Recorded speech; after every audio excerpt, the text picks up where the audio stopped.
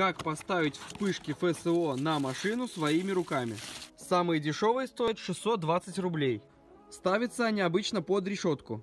Для этого, соответственно, ее открутим. Ищем в своей машине симметричное место для их крепления. Крепления также идут в комплекте. Теперь берем сверло под болт и вставляем его в шурик. Сверлим первое отверстие, измеряем расстояние рулеткой, намечаем с другой стороны и также делаем отверстия. Ну и прикручиваем крепежи. Затем для их подключения нам нужно удлинить красные провода.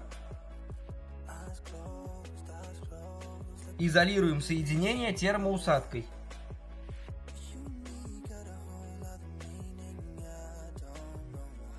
Начинаем установку и сразу кидаем черный провод на массу кузова автомобиля. Его можно установить прямо к крепежу.